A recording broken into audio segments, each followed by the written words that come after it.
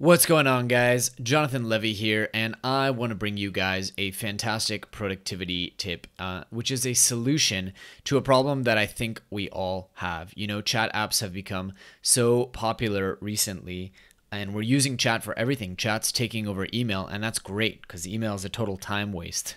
But uh, how many of you guys have this problem where, you know, you've got Slack open, you need to have messages open, you need to have Skype open, and then you go to your browser and you've got a tab for WhatsApp, you've got a tab for Facebook chat. You got to keep your Gmail open, of course, because people might message you on Google Hangouts.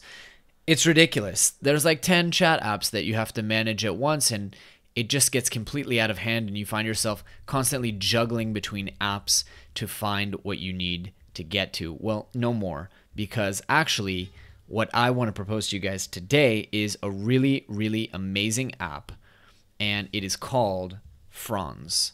I don't know why they called it Franz, probably Franz Ferdinand, but what Franz does is it opens up all your different chat apps in basically one window. And as you can see, it works with a ton of different services, pretty much every service you could ever think to use, and even some services that are not chat, like uh, TweetDeck, for example.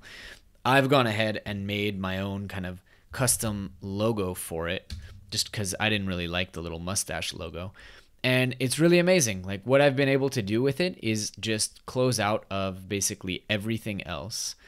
And now all I have is Franz. And it has Slack, it has Messenger, it has WhatsApp, which is amazing because I don't have to go to my phone every single time and use the small keyboard. It has Skype, totally brilliant. It has Google Hangouts and it gives me native notifications for all of these things in Mac OS X. And basically, you can add as many services as you want. I don't know how, but it's completely free, which is incredible. You can even add your Gmail here. You can add Inbox by Gmail. And as you see, I mean, I'm not using all the services here. I don't use WeChat. I barely use Hangouts, but then you have keyboard shortcuts, so you can just go like one, or you can go command, uh, let's say four. It'll take you directly here.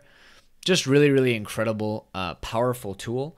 As you can see, it's it's giving me native notifications and everything like that, and saving me from having to juggle all these different apps and keep my browser open because we all know what happens if you keep your email open or Facebook open, you're gonna get distracted. So really powerful tool. I definitely recommend checking it out at meetfranz.com, and I will do my best to make this custom logo that I've made available to you guys if you want to play around with it. If you've enjoyed this video, please go ahead and hit like and subscribe. This video was taken as part of my productivity masterclass, which I will link in the description. And I put out new videos all the time on speed reading, accelerated learning, productivity, life hacking, biohacking, and so much more. So please go ahead and hit subscribe if you'd like to check out more.